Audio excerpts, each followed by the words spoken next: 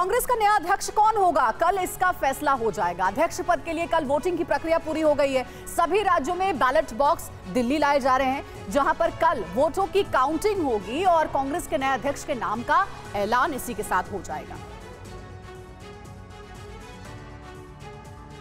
कांग्रेस के नए अध्यक्ष मल्लिकार्जुन खड़गे होंगे या फिर शशि थरूर? ये कल काउंटिंग के बाद क्लियर हो जाएगा। 24 साल में ये पहला मौका है जब कांग्रेस अध्यक्ष पद के लिए नेहरू गांधी परिवार का कोई सदस्य मैदान में नहीं है। वही कांग्रेस पार्टी के एक सौ सैंतीस साल के इतिहास में छठी बार अध्यक्ष पद के लिए चुनाव हुआ है। कल हुई वोटिंग में छियानवे फ़ीसदी वोट पड़े। सुबह दस बजे से शाम चार बजे तक वोटिंग। कांग्रेस के अध्यक्ष पद के लिए 9,300 डेलीगेट्स ने मतदान किया। अध्यक्ष पद के लिए दिल्ली में कांग्रेस मुख्यालय के साथ साथ देश भर में मौजूद प्रदेश कांग्रेस कमेटी के दफ्तरों में वोटिंग की गई। राहुल गांधी ने कर्नाटक के बेल्लारी में विशेष मतदान केंद्र में वोट डाला। उनके साथ कांग्रेस के करीब 40 नेताओं ने भी मतदान किया। वहीं राजस्थान के मुख्यमंत्री अशोक गहलोत ने कहा कि मल्लिकार्जुन खड़गे भारी बहुमत से जीतेंगे। वे अनुभवी व्यक्ति हैं। उनको काफ़ी अनुभव रहा है। जो लोग पार्टी छोड़कर गए हैं वे अवसरवादी लोग हैं।